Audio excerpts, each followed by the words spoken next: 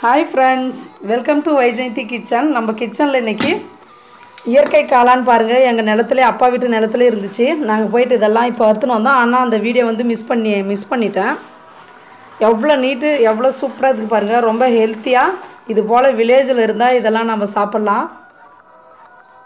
இவ்வளோ கிடச்சிருக்கு எங்களுக்கு. நான் வந்து இதில் ரெசிபி என்னென்ன செய்கிறதுன்னு அடுத்த வர வீடியோவில் உங்களுக்கு அப்லோட் பண்ணுறேன் தனிஷ் நீ கூட பிடுங்கினா தானே காளான் அனன் குட்டி நீ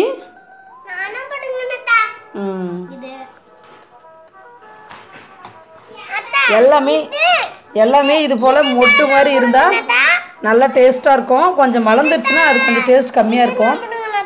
நாங்கள் இது குட்டிஸாக இருக்கக்குள்ளதே பார்த்துருந்தோம். அதனால் இன்னைக்கு வந்து புடினோன்ட்டோம் இந்த அளவுக்கு வந்தால் போதும் அப்படின்னு சொல்லிட்டு. ம் சரிடாம் சரிடாம் எவ்வளோ சூப்பராக இருக்குது பாருங்கள் பார்க்குறதுக்கு இந்த வீடியோ உங்களுக்கு பிடிச்சிருந்துச்சுன்னா மறக்காமல் வைஜெயந்தி கிச்சனை லைக் பண்ணுங்கள் ஷேர் பண்ணுங்கள் கமெண்ட் பண்ணுங்கள் சப்ஸ்கிரைப் பண்ணுங்கள் தேங்க்யூ